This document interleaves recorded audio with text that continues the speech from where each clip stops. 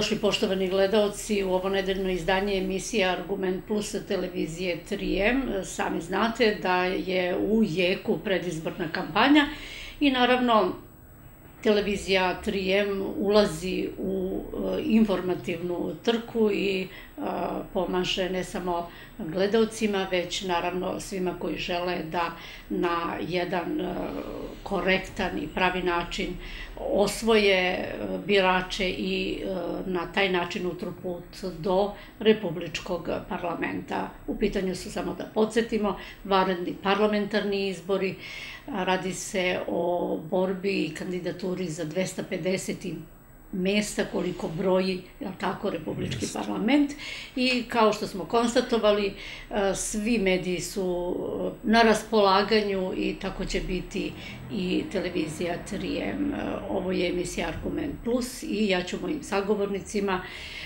omogućiti da iznose argumente koji će i vas, a naravno i mene kao domaćina ubediti da su oni u pravu i da zaslužuju vaš glas.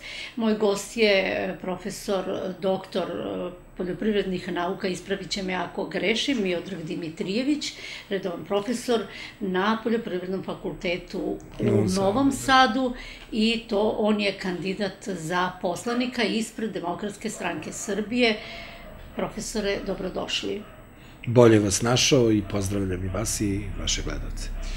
E, ja u ovoj emisiji, vi ste po prvi put e, gostima pruža mogućnost da iznose argumente koji će ići vama u prilog, a ja sam tu da postavljam pitanja, eventualno da se složim ili ne složim sa vama.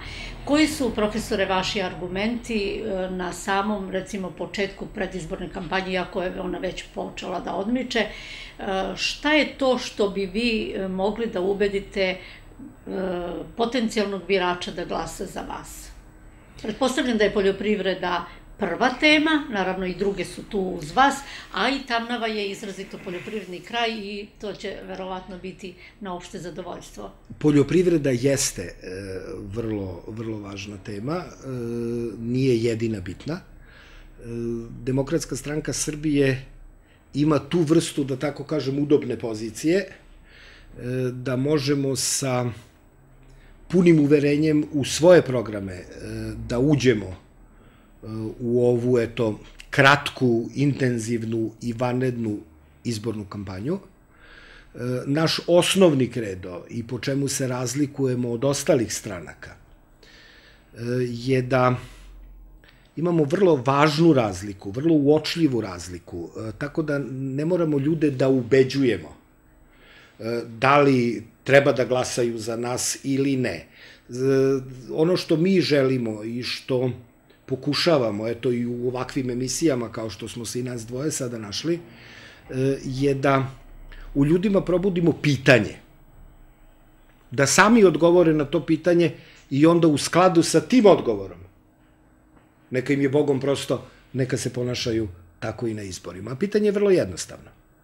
E, da li će nama komandant da sedi u Vašingtonu ili u Briselu, ili ćemo da slušamo glas otačbine i glas sobstvenog naroda? E, evo sedimo i u ovom kraju koji je slobodarski i, i širom Srbije poznat kao takav, ja ne verujem da ima ljudi koji žele da potru ono što su nam u nasleđe ostavili svi naši preci.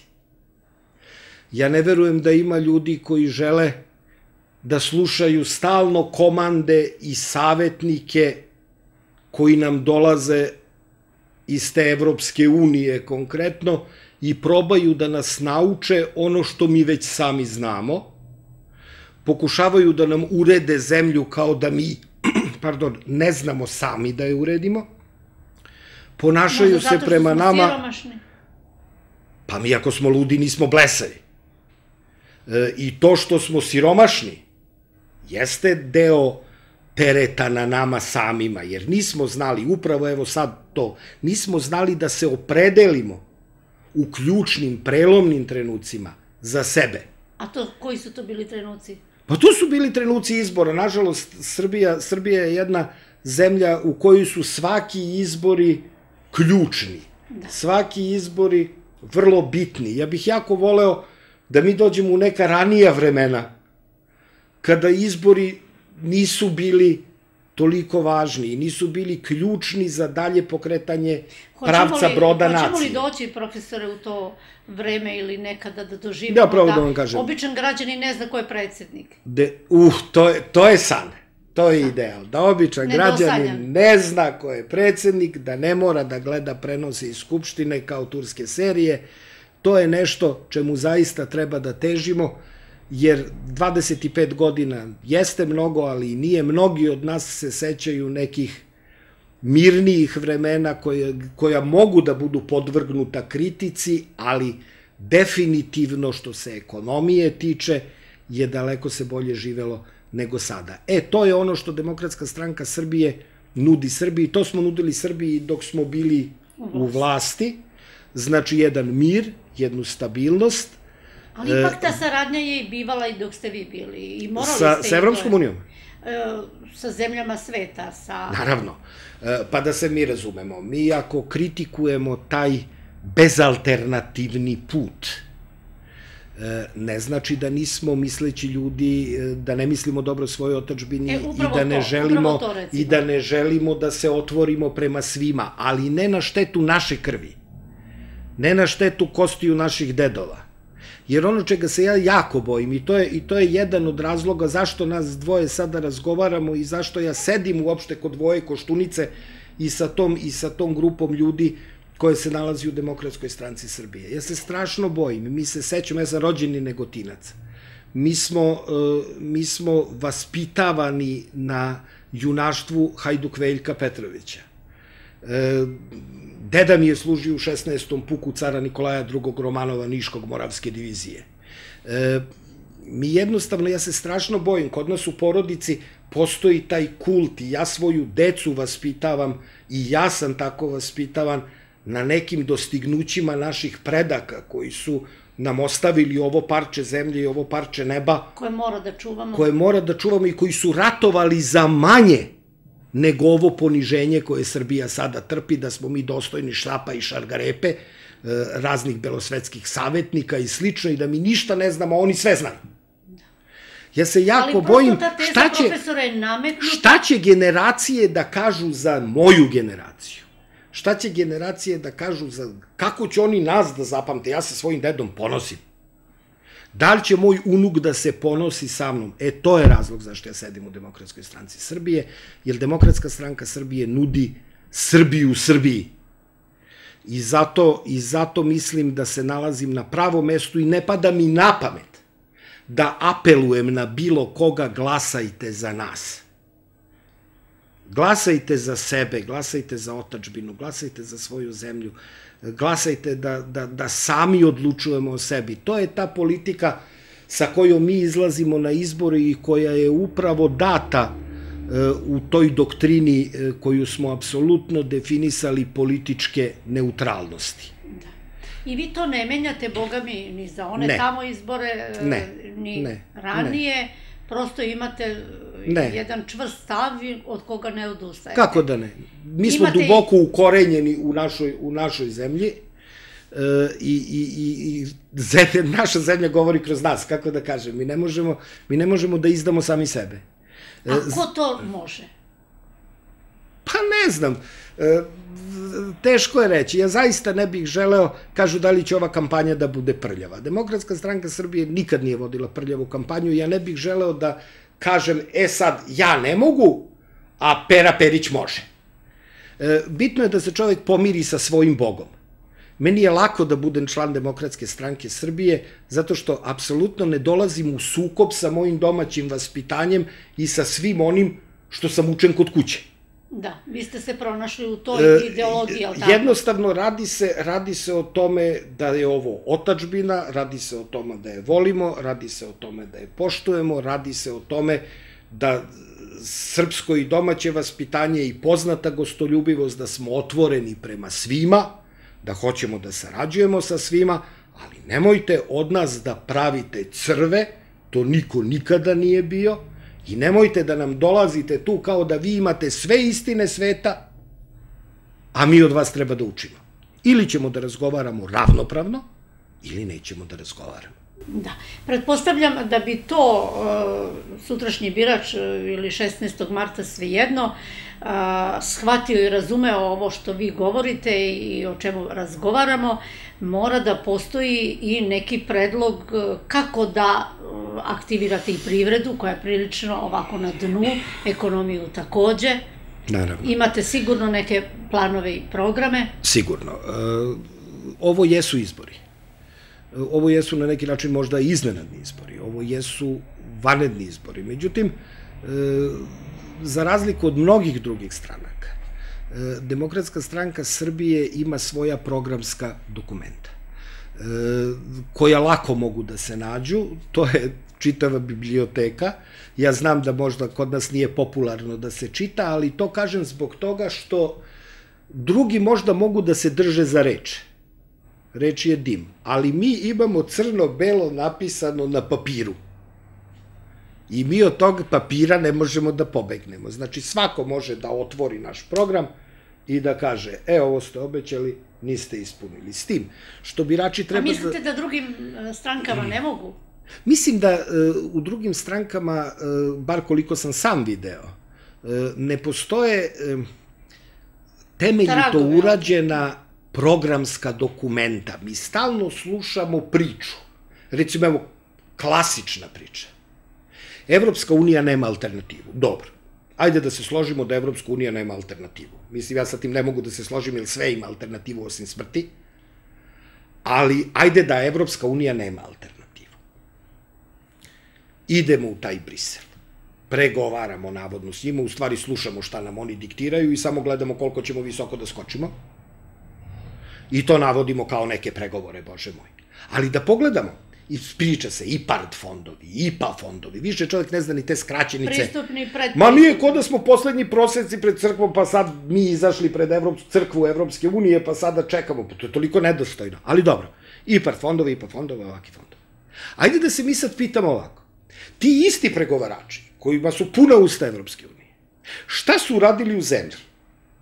Da mi napravimo mrežu koja ta sredstva može da primi. Birači treba da znaju i, i ljudi u Srbiji treba da znaju da mi primamo vrlo mali procenat tih predpristupnih fondova i pristupnih fondova koji u suštini su jako, jako mali. E, iz, ne samo zato što su oni mali, nego zato što mi nemamo mrežu nemamo koja će to da, da prihvati. Da a to je država za koju Evropska unija nema alternativu, morala da misli. Ako je mislila da na ženi. Ako je mislila ozbiljno sa nama, oni su to morali da misle. Što znači? Zašto se zakon o zadružnom udruživanju, recimo, kiseli peti već neke, peta neka verzija? Zašto to nije doneto pod hitno? Jer da bi se primile... U predizbornim kampanjama se to je... Ne, ali, ma nije bitna predizborna kampanja, ne interesuje uopšte predizborna kampanja, razgovaramo. E, ako uzimamo pare iz IPAR fondova, oni ne daju to pojedincima, oni to daju udruženjima. Zašto niko nije pravio ta udruženja? Gde su ta udruženja? Tako da, reči su dim, programska dokumenta su programska dokumenta. U našim programskim dokumentima stoji čitav niz stvari, ja ću samo neke da pomenem, mislim da je pristojno, ovo je ipak predizborna emisija, pa eto čisto da znamo šta, šta, šta tu piše. Prvo, politiku političke neutralnosti. To znači, da mi apsolutno ne smatramo da treba da prekidamo odnose sa Evropskom unijom, ali smatramo da treba da ih dignemo na jedan nivo nacionalnog ponosa, nacionalnog dostojanstva. E, Švajcarska sa Evropskom unijom funkcioniše na bazi bilateralnih sporazuma, a nije članica. E, ja ne kažem da smo mi Švajcarska, ne bi ni voleo da smo Švajcarska, onda ne bi imali dušu. Ali dobro, eto, da nismo Švajcarska, Ali eto, radit ćemo na bilateralnim sporazumima u obostranom interesu. Pa ako je njima u interesu dobro jest, ako njima nije u interesu, opet dobro jest. Zašto? Zato što imamo alternativu. A to je? Alternativa, ako se setite vremena nesvrstavanja. Politika nesvrstavanja je poslednjih godina trpela prilično kritika. I, i ljudi, ima ljudi koji su odobravali, ima ljudi koji su... Ali kada su je hvalili. Ali da se mi setimo ekonomsku, ekonomske profitabilnosti politike nesvrstavanja. Politika nesvrstavanja je nama otvorila tržišta Afrike. Otvorila nam je tržišta dalekog istoka. Otvorila nam je sva svetska tržišta. E, Rusiju, Kinu ću malo posle da pomenem. Znači, zemalja. Naravno, znači, e, politika političke neutra, te neutralnosti, van blokovskog držanja, e, nas na isti način otvara. Neki dan je bio intervju sa premijerom Mugabeom iz Zimbabvea. On slično govori, treba da se povezujemo, bivše nesvrstane zemlje, sadašnje nesvrstane, treba da se povezujemo, politika političke neutralnosti nama to omogućava. Što se tiče Rusije, Rusija je jedno ogromno tržište. Rusija je za nas bratsko tržište. Rusija, ja sam imao prilike da, da sa tim ljudima ne pričam predizborno na pamet, pričam ono što zaista je bilo. Oni ne da nama otvore sva vrata, oni skinu vrata iz duvara, uzmu lepo, skinu ih, I, i, I sa njima mi možemo da radimo, to je naša kost, to je naša krv. U krajnjem slučaju mi smo jedina zemlja u svetu koja sa Rusijom ima bescarinski ugovor. Mi smo jedina, za taj bescarinski ugovor, svi ti što nas zovu pomoću štapa i šargarepe bezalternativnu Evropsku uniju bi dali, ne znam šta da budem pristoja na televiziji, ali, ali to je nešto što oni nemaju. Mi to imamo. I šta sad? Treba sad toga da se odreknemo i da bezalternativno odemo u Evropsku uniju. E, ja moram da kažem, i, i, i poštenja radi, i istine radi. E, bio je period kada se i Demokratska stranka Srbije zalagala za Evropsku uniju. To se ljudi dobro sećaju i to ne može da se gurne po tepih. Međutim, za razliku od nekih drugih, e, mi smo ipak evoluisali. E, evoluisali smo zato što svet u vreme, e, početkom 2000-ih, to je nasledđe iz 90-ih godina, svet je bio unipolaran. Svet je umeđu vremenu, nažalost, zahvaljujući Srbiji i napadu na SR Jugoslaviju, shvatio s kim ima posla. Mi nismo svesni da smo preventivno upozorili, opet smo kupili Rusiji sedam dana. Mi smo preventivno upozorili Rusiju, upozorili Kinu, šta može da se desi. I na šta je neko sve spreman. I kako može da izgleda sukob i što je vrlo važno – upozorili smo ih i, i, i, i postavili smo jednu stvar koju mi ovde iz nekog razloga preskačemo, da je moguće da jedna mala, tehnički daleko slabije opremljena zemlja se punih 78 dana suprotstavlja najmoćnijim silama sveta. Posle tih događaja u SR Jugoslaviji, Rusija je odjednom, ako se sećate, okrenula svoju politiku, odjednom je došlo do političkih promena u Rusiji, odjednom je Kina počela više da ulaže u naoružanje, došlo je do sklapanja vojno-tehničkog sporazuma o saradnji između Rusije i Kine, znači svet više nije bio unipolaran, svet je postao tripolaran, svet je sada, ako uključimo Indiju, Brazil, te velike zemlje, multipolaran, I Demokratska stranka Srbije kao takva, shvatajući geopolitičku realnost, traži najbolji izlaz za Srbiju. I mi duboko smatramo e, da je to ta politika nevezivanja za blokove, da je to politika političkog nesvrstavanja, političke neutralnosti, jer imamo dobra iskustva iz prošlosti. Nama neke stranke desnice, takozvane patriotske stranke, ne takozvane, neću da kažem, da. patriotske da. stranke, e, zameraju jer imaju okretanje Rusiji ad hoc. E, Isključivo samo, jel tako? Rusiji, Evroazijskoj uniji. Mi moramo da shvatimo jednu stvar. Evroazijska unija je projekt koji je tek u povoju. E, mi bismo napravili velike probleme Rusiji e, koja je u vrlo osetljivoj geopolitičkoj situaciji. Vidite sad u Ukrajini šta se dešava pre toga u Siriji. Kada bi prosekli svoje veze sa Evropskom unijom i tako golotrbi došli kod njih na vrata i kucamo, evo mi stigli. Da.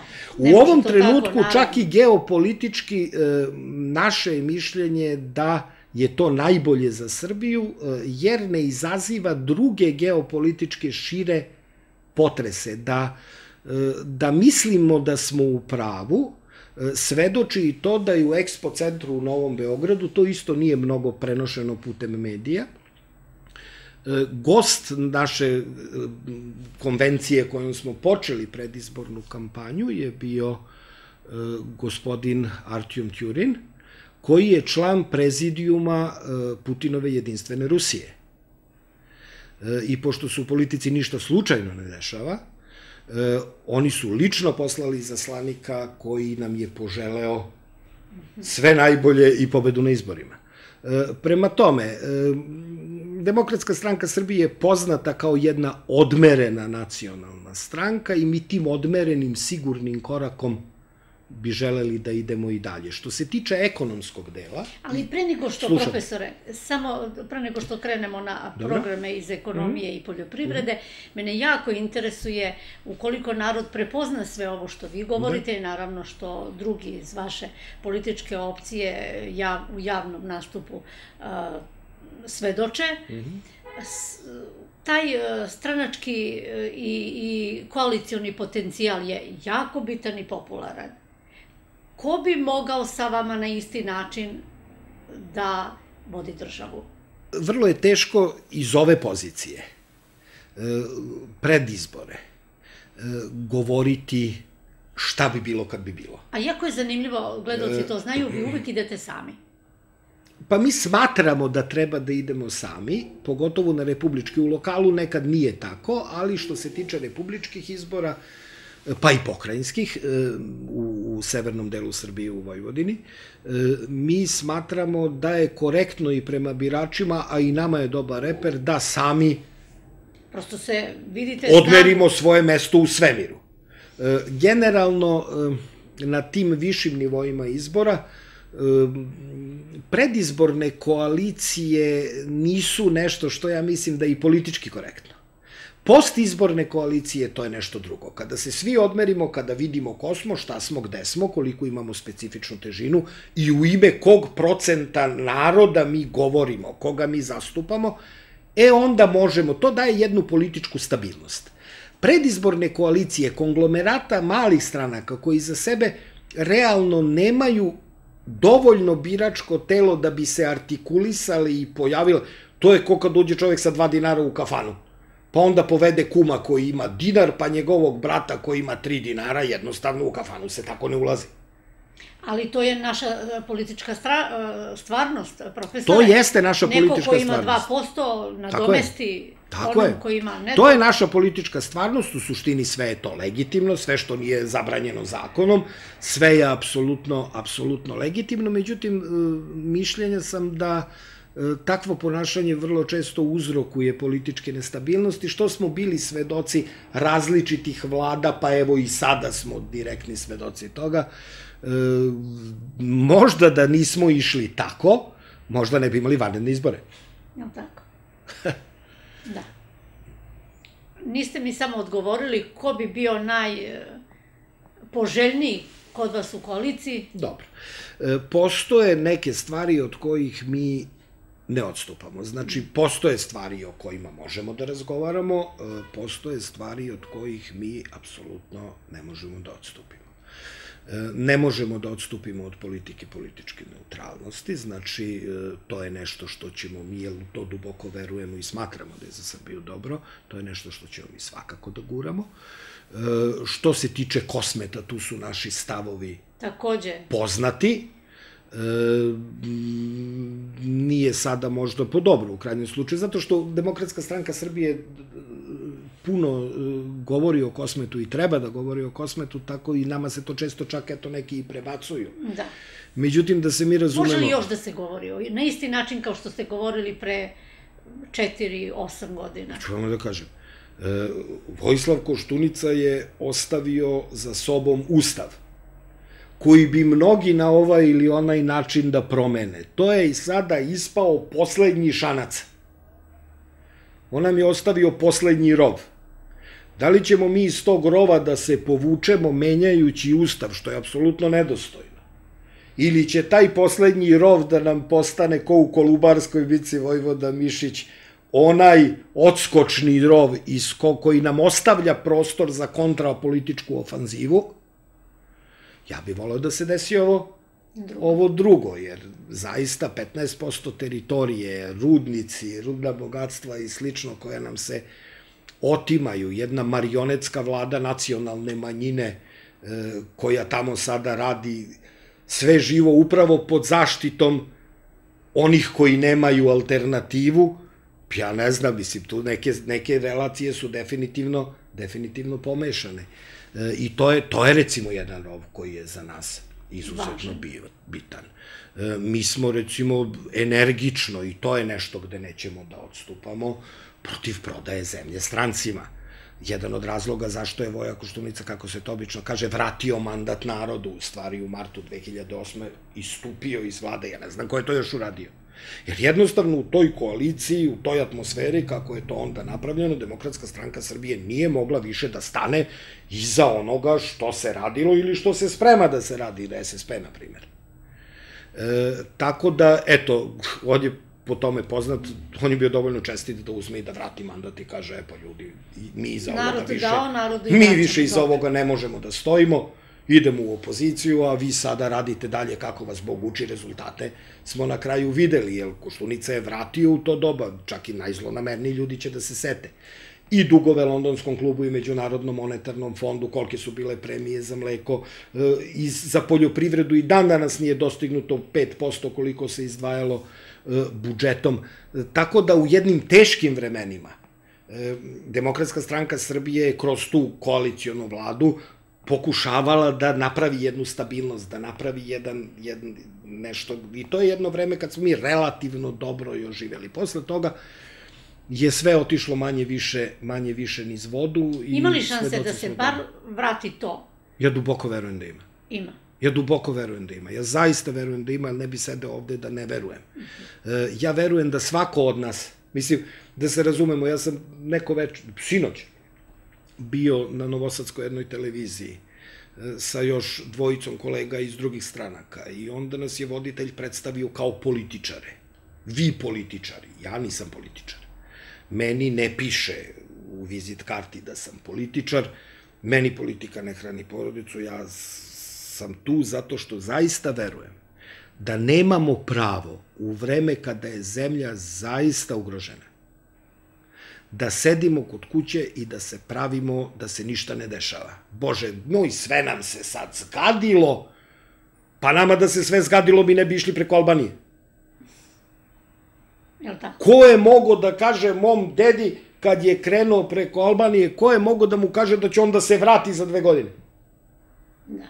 Nego je išao jednostavno mi nemamo pravo ni prema otačbini, ni prema potomcima, mi nemamo pravo da se ponašamo, sve nam se zgadilo, e sad mi više nećemo ništa. Ja duboko verujem da svaki građanin Srbije ima jedan svoj mali kamen koji može da, nekom je veći, nekom je manji, koji može da pomeri, I eto, dovoljno je taj jedan okretaj. Neka svako uradi taj jedan okretaj. Ovo je moj kamen.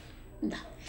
Profesore, da se vratimo malo na, Ajde. na, hoćemo li na struku ili na ekonomiju? Što god vam... Što Hajde god kratko na ekonomiju. Koji je to vaš ekonomski putokaz kojim bi poveli i eventualno pokrenuli ekonomiju srpsku? Nama, e, nama se jedan od programskih akata koji se odnosi na ekonomiju zove e, nova industrializacija. Mm -hmm. Iz više, više razloga očigledno je bilo da velikom bratu, znači nekome ko kreira neke odnose negde, je stalo bilo da Srbiju odbije od mora, da je pretvori u kontinentalnu zemlju, da joj direktnim... Uspeo je. Uspeo je, da joj direktnim vojnim udarom, jer vrlo često se priča kako je naša ekonomija propala posle 2000. godine, došao je DOS, sve je rasturio, e, urušavana je zaboravlja se da su da su nama e, neki drugi e, urušili, bombardovali e, i to namerno su gađali infrastrukturu, da smo mi pre toga bili pod sankcijama. Šta sankcije rade? Sankcije ekonomski iscrpljuju državu i ono što je vrlo bitno, zaboravi se, sankcije podstiču crnu ekonomiju i kriminalizuju društvo. Sankcije su... Ka, sve. Sankcije su prvi i osnovni razlog. Zašto su ljudi sa margine došli u sredinu? E, sve što je išlo dalje je bilo posledica toga. Znači, nova, mi smo, mi smo predviđeni bili za jedan narod, pa to je jedan od, od političara i rekao da ga sada ne imentujem, ne odlikuje se baš višim rastom. E, mi smo predviđeni da budemo zemlja usluga. Šta će Srbiji industrija? Mi ćemo da trange, frange, trgujemo, da, pa, apsolutno nije tačno, mi smo imali kombinate, imali smo, imali smo industriju, pa evo samo ovde sad što smo prošli. Naravno, poljoprivredno Samo ovde sad što smo prošli. Pretpostavljam da se i sećate, s obzirom da govorite Jest. da ovaj, e, šta, to je bio agrarni gigant na ovim prostorima i šire. Jest. Oni, e, mi kada govorimo o, o, o novoj industrializaciji, znači mi smatramo da e, industrija, da mi nismo narod samo trange, frange, trgovaca i flaša benzina. Mi smo vredan narod, je li tako? Mi smo zaista vredan narod, mi smo narod koji je dokazao da je vredan, mi smo uh, u zemljama koje su sređene, vrlo cenjena i vredna radna snaga na svim nivoima. I ne vidim razloga ako smo u tim zemljama vredna radna snaga na svim nivoima, zašto ne možemo u sobstvenoj zemlji, ali tu je taj politički faktor koji... Da li je nas neko koji... profesor ubedio da, mi, da smo mi lenji? Nas sistematski se... u to ubeđuju. Ja tako? Nas sistematski u to ubeđuju. Bojim se da ove mlađe generacije posustaju Mlađe generacije je, ne smeju da posustanu nikako. Pa naravno pa da su... nikako ne, ne, ne smeju, ali dešava se da, da i ja u kontaktima uh, da. sa njima dođem do neke uh, frapantne informacije, pa mi smo prepušteni sebi, neko to drugi bolje radi. Treba da se, treba pre svega da se vrati poverenje u državu. Da. Kako? Upravo ovo što pričate. Pa upravo ovako kao što, mislim, prvo reči više ne smeju da budu dim. E, drugo, mi moramo da imamo čvrste programe, ne da menjamo kako ko dođe. E, e, malte ne sve je postalo važnije od otačbine. Da. Mi smo imali, recimo, slučaj, ajde sad i to da kažem, kao lep primer. E, početkom 2000-ih u, u, u Đinđićevoj vladi ministar za nauku je bio Dragan Domazet iz demokratske stranke koji je ocenjen, bez obzira na stranačku pripadnost, koji je ocenjen kao jedan vrlo uspešan e, ministar za nauku i tehnološki razvoj. Posle njega na to mesto je došao naš Aca Pop, Aleksandar Popović. E, koji nije posekao sve ono što je Domazet uradio pre toga, nego je na tome nastavio dalje da gradi. Posledica je, bez obzira na stranačku pripadnost, i jedan i drugi su srpskoj naučnoj javnosti ostali u vrlo lepom sećanju. Nažalost, Posle toga su došli neki drugi i to više od nije ličilo. Kreće? Ne treba da krećemo od nule. Na, kako kažu kinezi, sve se menja, samo Kina je večna. Sve se menja, samo Srbija je večna. E, mi, mi, mi moramo da shvatimo da, da, je, da je ljubav prema rodu, prema otačbini primarna senzacija. Sve ostalo je sekundarna.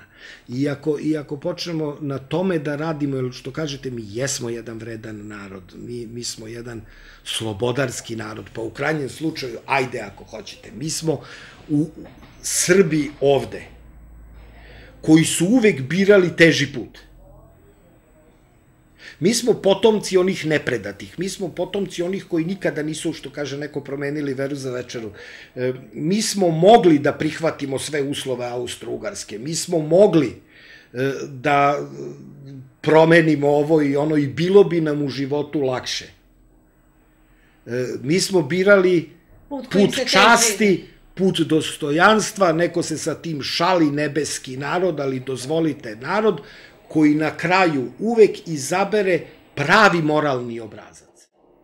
Na neki način, koliko god da ga to koštalo, mi smo krvavo to platili. Košta, mi smo krvavo to platili. Naravno, bogougodnost nikada nije laka i, i, i, i carstvo nebesko nije jeftino. Ali definitivno mi smo potomci tih i na tome treba da gradimo, tako da učimo i mlade. Kosmet nikada nije izgubljen. Jevreji su hiljadu godina čekali dok njihov poručnik nije došao na zid plača. Svake godine, sledeće godine u Prizrenu, svake godine, sledeće godine u Prištini, jedna molitva, ni jedan ručak, ništa da ne počne bez toga. Jednog dana će to i biti. Biće. Ja se nadam, profesore, da se malo dotaknemo poljoprivrede, Izvolite. to je vama i struka, a evo, ja sam rekla u najavi da je i Tamnava izrazito poljoprivredni kraj i opština Ub. Mene jako zanima, s obzirom da e, zaista dugo pratim i oblast e, poljoprivrede, koja god vlast dođe pravi poljoprivrednu, to jest agrarnu strategiju. Evo i sada smo svedoci da je to neki okvir koji se uh, slaže i uklapa u formu Evropske unije. Na, navodno to će biti uh, nešto što će ukazivati i pokazivati ne samo stručnjacima iz ove oblasti, nego i seljacima šta, kako, gde u periodu 10 godina. Jedno su reči, opet kažem, jedno su reči, drugo je ono što se dešava u realnosti. Mogu li ta dokumenta da, da predvide da... Ma sve se zna. I svi znaju sve. To nije ko futbal Miljan Miljanić. U poljoprivredi su stvari jasne. Poljoprivreda je jedna kod nas žilava, žilava delatnost koja a pritom evo... strateška. Pa ja vrlo često kažem, ne zato što sam ja to izmislio, nego zato što su neki stariji to mene naučili. Poljoprivreda je garant samobitnosti i nezavisnosti jedne zemlje, isto kao što je to sablja, isto kao što je to puška, isto kao što je to top, isto kao što je to vojska. Ko je prehrambeno nezavistan? Izvem ja te njihove konglomerate i ovi će da rade ovo. Ko puni sebi tanjir? Taj politički nezavistan. Ko je u situaciji da uzme tanjirče pa da stane pred šalter, taj mora dobro da sluša kuvara. Šta će da mu kaže da bi mu sipao malo ili malo više. Prema tome, e, mi imamo generacijski, malo se možda zna u javnosti, mi uglavnom pričamo o poljoprivrednoj proizvodnji, redko pričamo o srpskoj poljoprivrednoj nauci.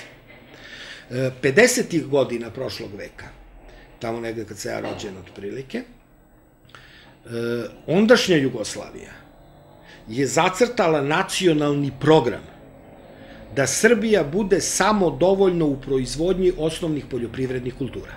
Da se oslobodimo stranog sortimenta, kod pšenice recimo to bio ruski i italijanski, i da napravimo srpske, onda jugoslovenske, mada je Srbija bila i onda nosilac u poljoprivrednoj proizvodnji, da napravimo srpske sorte i hibride. Znači, neko je to seo, smislio kao nacionalnu strategiju. Kada je to, sve ima svoj red. Kada je to smišljeno kao nacionalna strategija, onda su pozvani stručnjaci. Znači, država je uradila svoj posao, smislila je šta želi. Kad je smislila šta želi, problem je sad što nikako država da smisli šta želi, e, onda je pozvala stručnjake. Pa je rekla, ljudi, država od vas traži to, to, to, to i to. Imate toliko i toliko vremena, organizujte se, napravite domaće sorte i hibride. Pšenice, kukuruza, suncokreta. I onda su dalje preuzeli stručnjaci.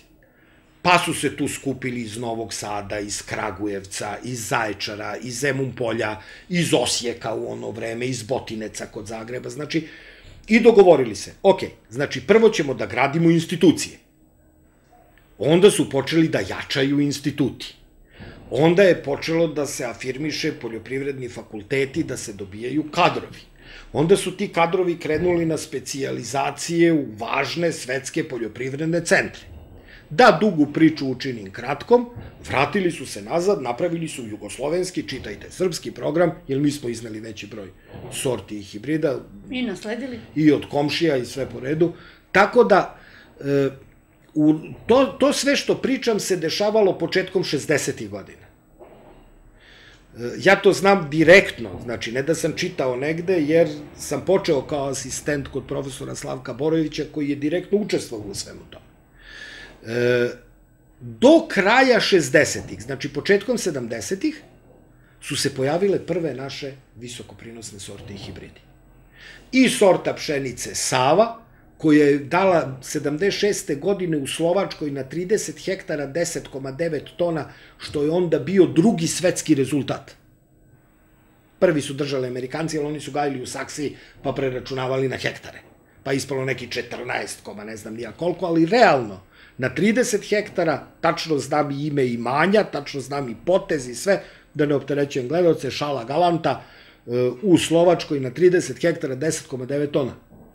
Tada je izašao relje Savića hibrid SK70, koji je dugo godina bio noseći hibrid naše proizvodnje i mi smo promenili sortiment i uzeli domaće sorte. Znači, postali smo nezavisni što se toga tiče. I to nekom nije odgovaralo. Ako tome pridodamo domaće đubrivo, domaći kombajn, e, mehanizaciju, hemiju i sve po redu, mi smo bili sasvim zaokruženi. E sad, očigledno da ta vrsta nezavisnosti nekom smeta, jer da se mi razumemo, mi smo trenutno... Šta je u pitanju tržište, nažalost? Ma, ne radi se o tržištu, ja lično smatram da je u pitanju rat za resurse. Mm -hmm. Neko je izračunao da će da bude 9 milijardi ljudi do 2050. godine, neko je potrošio sve svoje resurse, proćerdo ih ovako i sada baca oko na nečije tuđe resurse, ništa to nije sporno. Nije Možemo to, se, jer... Nije to prvi put da se dešava u istoriji. E sad, mi treba, mi smo se tu malo opet, ima krivice do nas, ali ne treba da se zaboravi da smo mi pritiskani od spoljnog faktora da uradimo privatizaciju brzu. I mi smo za 10-15 godina napravili ekonomske pretumbacije i privatizacije koje su u drugim zemljama dešavaju za 150 godina. Mislite da je to samo bio spoljni faktor? Ne. Naravno, pa mi smo morali na sve to da pristanemo. Ajde sad da budemo, da budemo način. To ne priča. Pa dobro, ali uvek se nađe. Da. E, ali jeste upaljač koji izazove eksploziju, taj upaljač nije došao iz Srbije. Jasno. Da ste pitali, izvinte, radnike Servo Mihalja koji mogu da hrani celu Evropu? Da li vi želite da se vaša firma privatizuje i raspadne? Ja ću da iskoristim ovu priliku, ako mi dozvolite dva minuta, da ispričam jednu priču koja je meni puno značila. E, pre izvesnog vremena smo imali jedan sastanak u jednom malom hotelu, da ne govorim imena, u jednom malom hotelu u Beogradu. Taj hotel je ranije bio u prethodnom periodu, naravno, državni, ouri i kako sve biva, i taj hotel je došao, mali hotel, on je došao na prodaju. Da. I onda su se radnici hotela dogovorili da kupe svoj hotel. I skupili su pare. Jedan dao toliko, drugi dao toliko, napravili zadrugu. Skupili su pare i kupili su taj svoj hotelčić. Vlasnik hotela je od čoveka koji je na parkingu, do onih koji rade unutra, nisu imali menadžere, kupili su sebi direktora. Kupili ga. platili, ne? Dali mu platu. Taj osnovni zadružni, zadružni Kapital? jezgro to. Oni su ostali. Sada kako im treba konobar, ako im treba šef sale, oni sebi kupe. Ali to je uradila sloga. Svima e... je nuđen taj model, ali mnogi nisu mogli o, zato što se nisu složili. U ovom slučaju to je uradila sloga. Da. E, I to je zaista jedan jako lep primer. Taj hotel sada radi perfektno, on je ušao i u lanac nekih međunarodnih hotela, znači dobili su svoje priznanje i na međunarodnoj sceni i to je jedna veoma lepa priča. Međutim, država se ne pravi na jednoj veoma lepoj priči i ne pravi se na statističkoj grešci. Naravno. A statistika Država se pravi na aritmetičkoj sredini. Znači, šta mi iz toga treba da izvučemo? Mi iz toga treba da izvučemo prvo primo i prvo.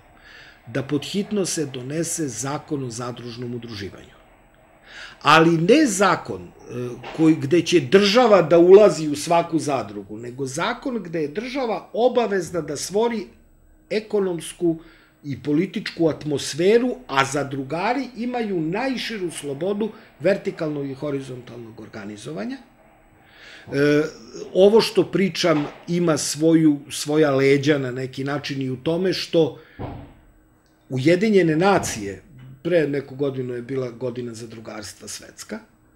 Ujedinjene nacije za drugarstvo vide kao put za zemlje u razvoju, e, nerazvijene zemlje, zemlje u tranziciji za preovladavanje ekonomske krize i ekonomskih teškoća. Pre nego što me prekinete, a vidim da se spremate. Zato što treba, je jako zanimljiva tema za drugarstvo. Treba, ali ovo, ovo braća Srblji treba da znaju.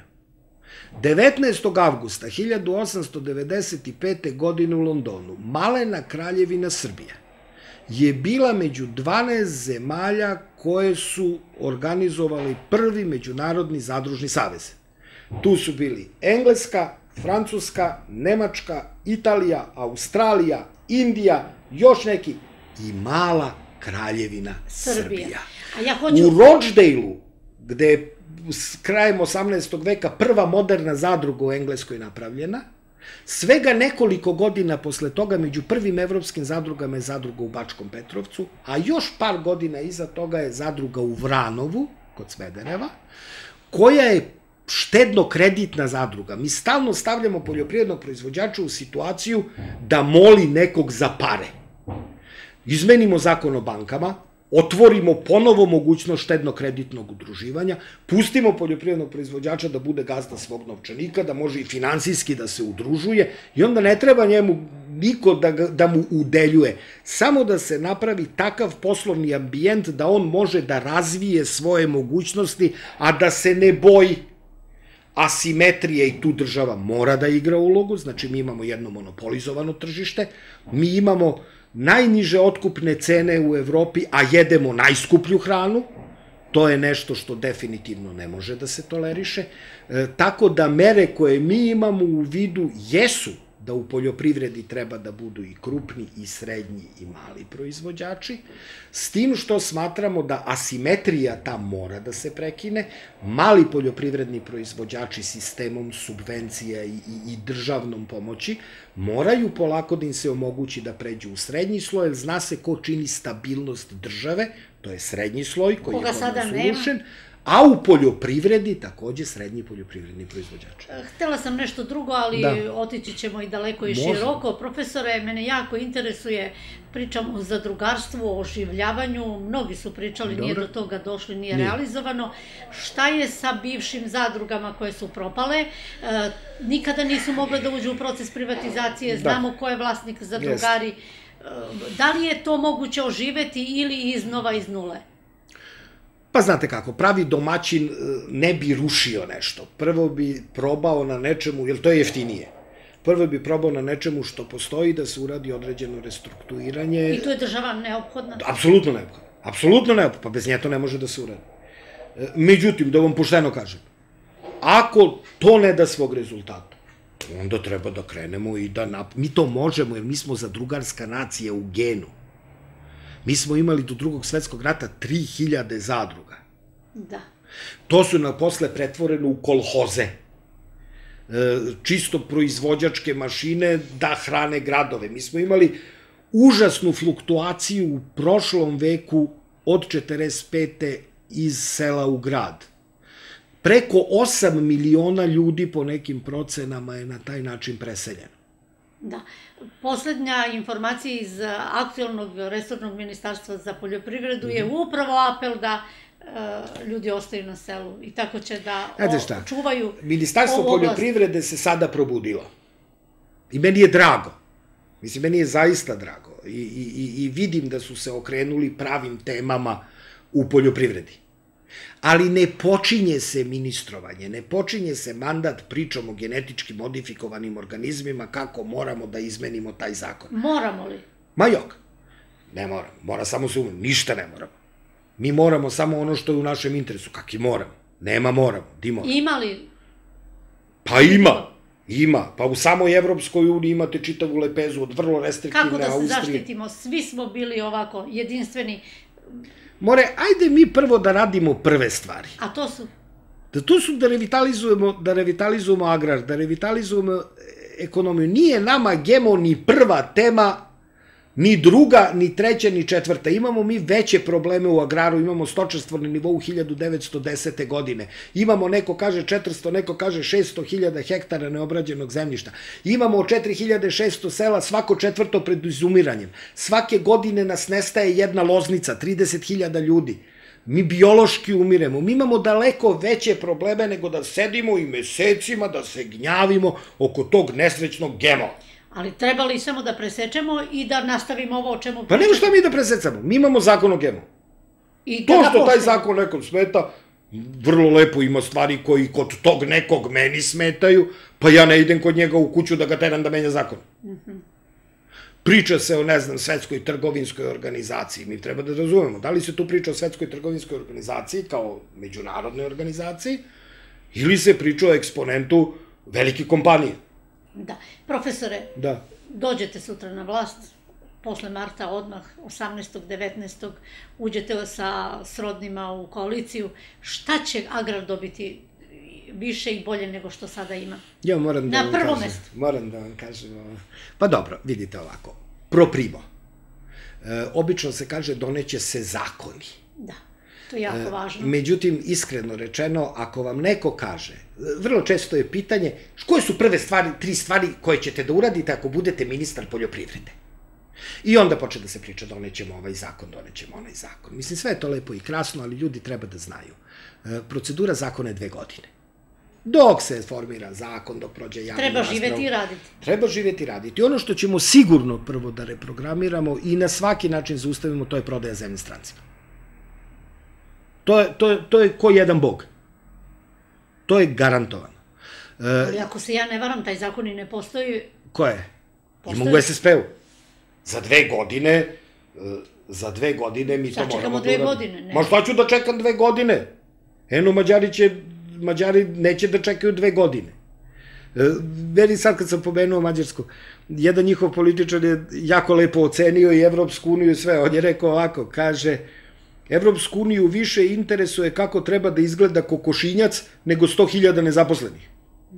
Mi ne želimo da dođemo u tu situaciju. Mi vidimo kod komšija pametan čovek se uči na tuđim greškama, a ne na svojim. da li profesor armija nezaposlenih u Srbiji može da uhlebljenje nađe i u agraru? Pa, e, sigurno da, mislim kratko, da ne filozofiram previše, može. Mislim, najjednostavnije rečeno, Znači, agrar je može. šansa, koliko god mi bežali... Znate šta, agrar jeste Više- šansa, ali e, da bi se to desilo, mora da postoji. Mi imamo, nismo stigli, uvek je kratko vreme, ali nije bitno. E, mi imamo... Opet. Mi imamo programe e, razvoja infrastrukture. E, Smatramo da je primarna stvar putna mreža. To je nešto gde smo mi jako pali. Ja to znam iz ličnog iskustva. Ja sam oko 10 godina skupljao po poslovnom poslovnom, u poslu mi je tako, skupljao divlje forme i divlje srodnike žitarica, pšenice, raži, neke egilopse i slično. I, I iskustvo nam je, gde god postoji put, tu više toga nema. Ljudi su prešli na intenzivniju poljoprivrednu proizvodnju.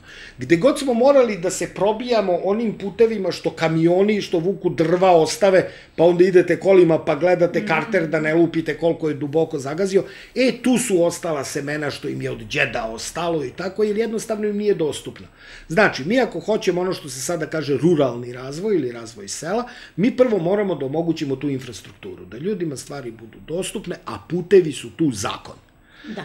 Znači, ipak je poruka da selo nije e, teško, Nije. da više e, ne treba bežati jer seljak Ne. je čestit čovek, Uvek bio. a pritom može i da se zaradi. Uvek bio. Pa ne, da, da to može, eto, ajde opet da gledamo u komšije, da gledamo u braću pravoslavne Grke. E, Kod njih imamo sada čitav pokret povratka mladih na selo. Kod nas u ovom trenutku još tog pokreta nema, e, međutim, ako se pruže dobri uslovi, ako se, a, a opet mislim, putna mreža, infrastruktura, zadružno udruživanje, e, Siguran plasman. siguran Koliko plasman, toliko? garantovane cene, jer mi imamo, ma nismo pola stigli da ispričamo, e, jer mi imamo jako šizofrenu situaciju na, na agrarnom tržištu. E, u suštini poljoprivrednom proizvo... svi se tu lepo ugrade, a poljoprivrednom proizvođaču onda Ostane ostane, najmanje. ma što mu ostane najmanje, to je, Skoro to da je, to je gadno, nego što on iznese kompletne rizike. I tržišta, i proizvodnje, i svega I živog. Nas dvoje se dogovorimo. I ja kažem ovako. Ja ću vama na Novosadskoj berzi pšenice da prodam pšenicu po 16 dinara. A vi meni kažete, e, ja ću tebi da prodam možda i tu istu pšenicu po 17 dinara. I formira se cena 16,5 dinara. I država kaže, to je formirana cena, mi se u to ne mešamo. Država ne može da se ne meša u tokove u poljoprivrednoj proizvodnji i plasmanu, ne mora to da budu direktne mere, ali državne rezerve moraju da budu podeljene, na, to mi zastupamo strogo, znači na, na te manipulativne, interventne i na strateške rezerve, znači država ima čitav jedan niz mehanizama kojima može da zaštiti poljoprivredu, da učini poljoprivrednu proizvodnju izvesnijom, e, koji nažalost sada se, sada se ne koristi. Da ne pričam zeleni dinar, gde čak i mnogi direktni podsticaji samo prođu kroz džepove proizvođača i završe se u džepovima organizatora proizvodnje. E, takve stvari jednostavno ne bi trebalo da se dešavaju. Da. Evo daću vam kratko da se obratite, šta poručujete? Ima odavde studenta vaših? Šta poručujem biračima, gledalcima?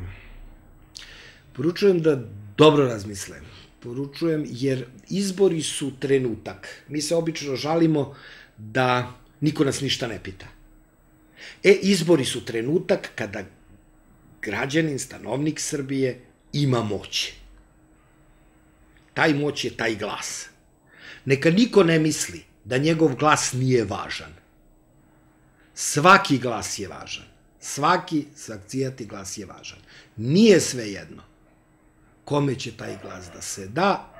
Ja bih voleo da se birači odluče za demokratsku stranku Srbije, zato što joj ja verujem, pa onda nekako naivno čovek misli da joj svi veruju. Naravno, nije to tako, ali dobro razmislite neke stvari, jer sve što leti se ne jede, a mi ozbiljno moramo da razmislimo koji ćemo legat da ostavimo našim potomcima i po čemu će da nas se sećaju. Da li će da nas se sećaju kao graditelja, ili će da nas se sećaju kao na onoj slici Uroša Predića, ona tri brata i Gajdaš ih prati, koji su celu očevinu proćerdali za jednu noć u kafani. Ako sebi nađete odgovor, kakav odgovor nađete, to zaokružite, a ja vas pozivam naravno, pošto je predizborni program, da nam verujete, zaokružite Demokratsku stranku Srbije trojku. Evo, poštovani gledalci, bili su ovo argumenti mog gosta, još jednom da kažem, profesora Miodraga Dimitrijevića. Hvala na pažnji i mi se vidimo već za neki dan. Hvala još jednom. Hvala i vama. Hvala lepo.